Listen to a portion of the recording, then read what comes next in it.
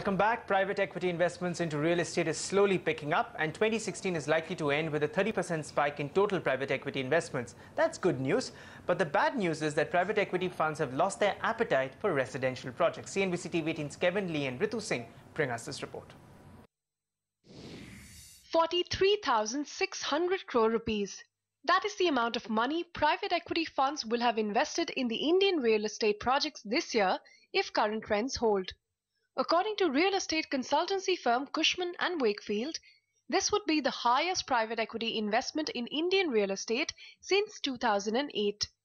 But in a sharp contrast to previous years, it's commercial projects and not residential ones that have become the flavor of the season.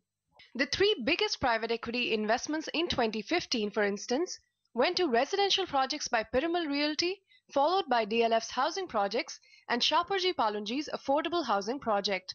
In 2016, however, the big bucks have gone to Hiranandani's commercial assets in Powai, L&T's retail space in Navi Mumbai, and Sheth developers Viviana Mall in Thane.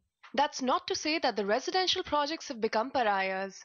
A lot of uh, international investors have put some monies behind residential uh, assets also, under construction development assets as well. But the quantum is, uh, uh you know, is lower as a percentage uh, compared to commercial assets. Experts attribute this change in preference to two key factors. One, delays in residential projects across cities have reduced the risk appetite of big foreign investors.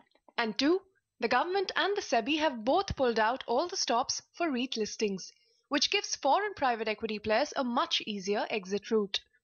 That if uh, these companies can be structured properly uh, and they're, they're done correctly by the right sponsors, uh, you know, that will uh, uh, bring us to India and uh, invest our capital under the right circumstances.